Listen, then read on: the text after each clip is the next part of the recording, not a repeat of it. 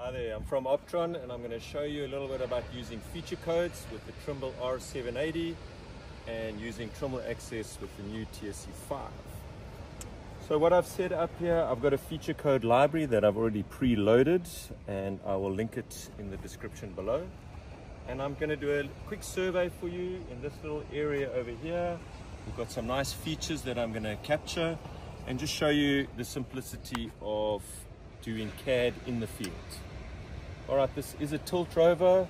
It's uh, it has an incredible tilt on it, and uh, it's able to work in some really challenging environments, such as one I am where I am today. All right, so we're going to start off here. I'm going to measure the edge of the bush. I'm going to measure some of the curb lines. We're going to go across to measure the building, that guardrail over there, some lampposts, and we'll continue in that direction. All right, so I'm starting off with with the bush. And uh, I'm going to edge me measure that edge of the bush there. It's there and I'm going to jump over into I'm calling this one top curb 1 top curb 2 I mean bottom curb 1 and I'm going to call the edge of these bricks edge of road 1 all right we're going to keep going. I'm going to do an edge of the bush over here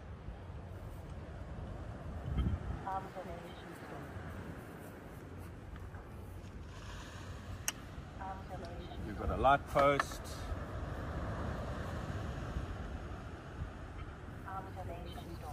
And we're just going to go around like that.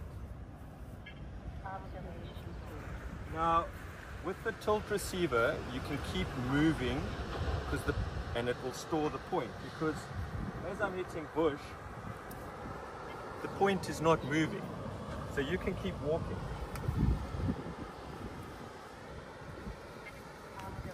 Alright, we're going to come across here to guardrail. I've already preloaded these codes. Um, I'll show you a little bit later on how we do that.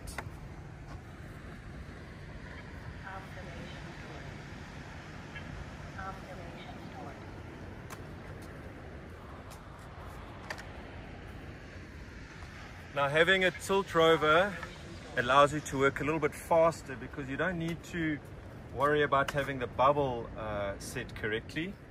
You can simply hold the, hold the pole in the desired position and measure.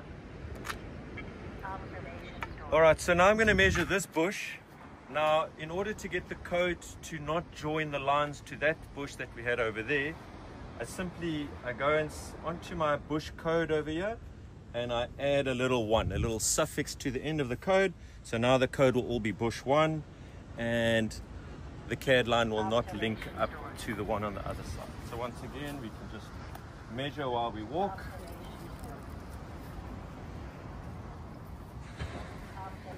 This light post.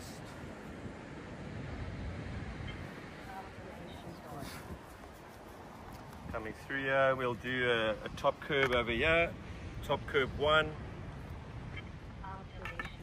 bottom curb one, edge of road one. So that'll join me through there. I'm going to finish up here on my bush. Uh, bush one. Now this little this little building over here, I'm going to do a three-point uh, rectangle. So I'm going to measure the front two corners and the corner at the back and uh, it's not really accessible, but the software will draw, in, draw the corner in. So, all right, so that will be uh, corner building one.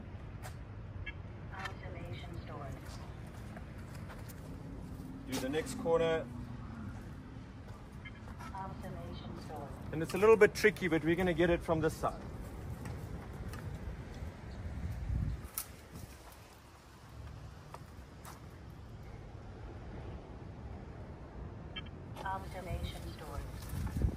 All right, you can really start seeing the benefits of a tilt rover.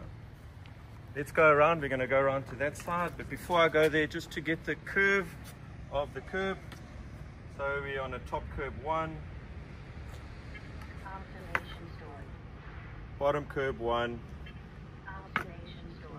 edge of road one. All right, we'll do another building over here. Oh, we've got a manhole.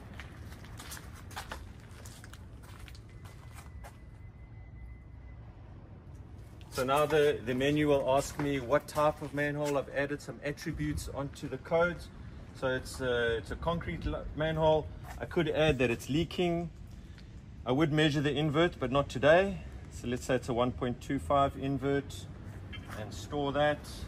And now we're going to do the building corners. So building corner one.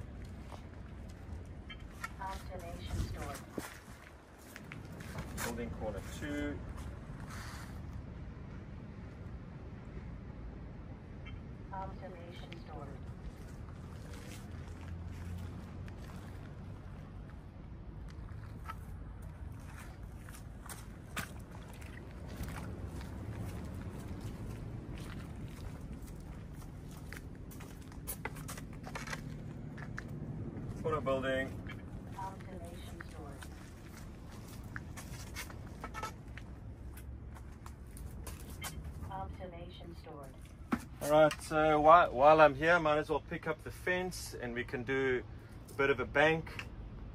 Um, so I don't have my banks loaded on, on here. I'm gonna make a different screen.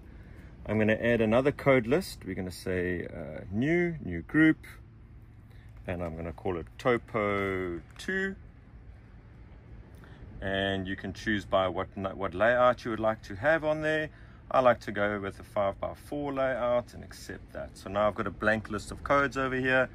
I can go and now and choose, okay, we've got a top bank over there, enter, and we're gonna go across one and we're gonna do a bottom bank over here.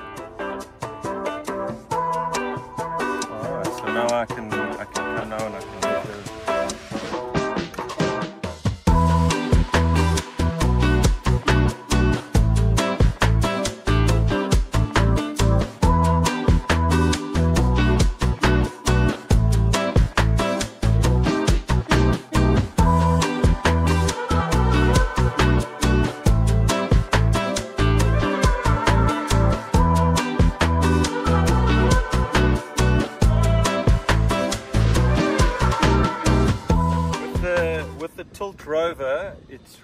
saves you a lot of time, especially with curbs, because the points are not landing on, on the wrong side if the pole is not uh, held up straight. For example, previously you would need to hold the bubble straight, but if, for example, you held a little bit skew, the top curb point is going to end up on the wrong side of bottom curb. So the tilt rover really saves you a lot of time in that space.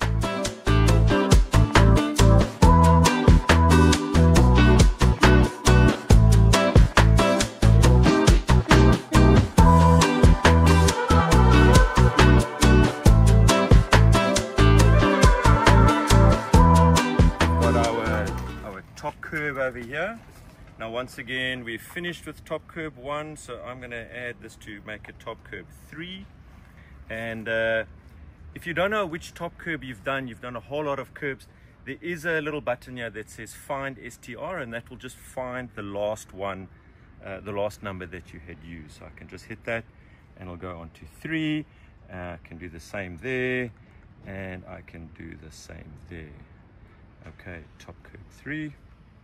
Observation stored. Let's go bottom curb three. Observation stored. Let's say edge of road three. Observation stored.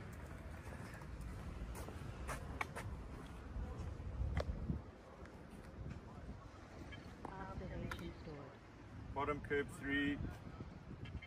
Observation stored. Top curb three. Observation stored. Guardrail one. Observation stored. Uh, here will be a um, so here I'm going to choose a guardrail and I'm going to choose uh, PAV 1 I don't have it on this, case, this page so I'm just going to type it in. And basically what that's going to do it's going to join the line for me of this guardrail. The same code is going to be used then for the edge the pavement that we had already surveyed. Now the same on this side, we're going to just call this one PAV 2. I'm just going to change that, still guardrail 1, we're just going to pull it through and uh, measure that. Alright, so now I can go back to my, um, uh, what are we on, top curb 3. Observation stored. Bottom curb 3. Edge of road three. Observation stored.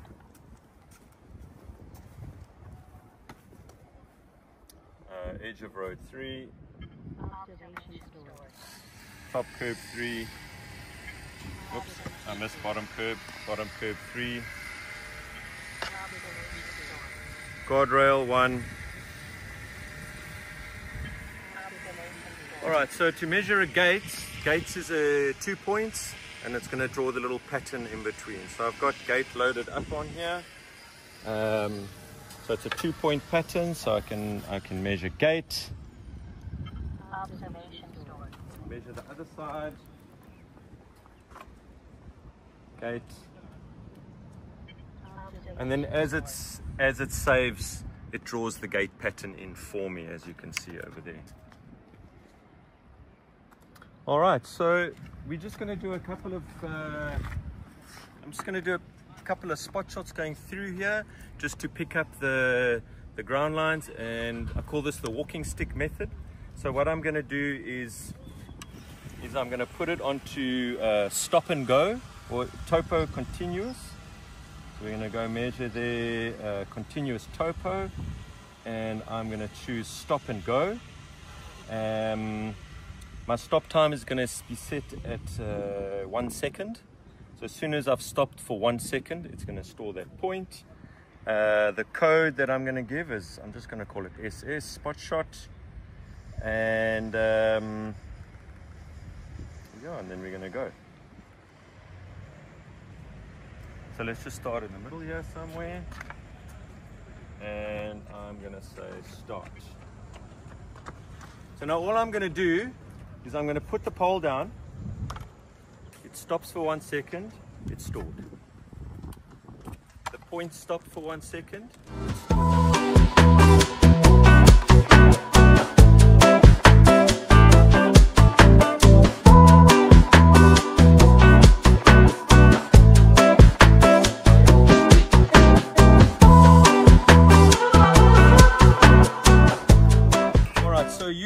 Tilt rover, as I said, it's it's quite phenomenal.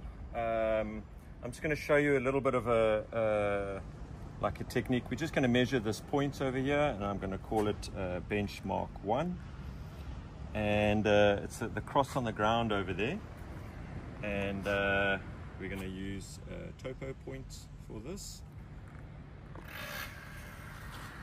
So I'm going to hold, I'm going to measure this using the bubble. And the, and the whole idea is to demonstrate the ability of the, uh, of the tilt. All right, so benchmark, uh, benchmark one is stored. I'm now going to go into the stakeout menu. Points, I'm going to add it to the list. Uh, what did I call this one? Benchmark one, add, and stakeout. So the residuals are quite incredible. Doesn't matter how, I, how much I hold the pole at a tilt, you can really see the residuals are within millimeters. I can go in any direction and I can even lay the pole on the ground.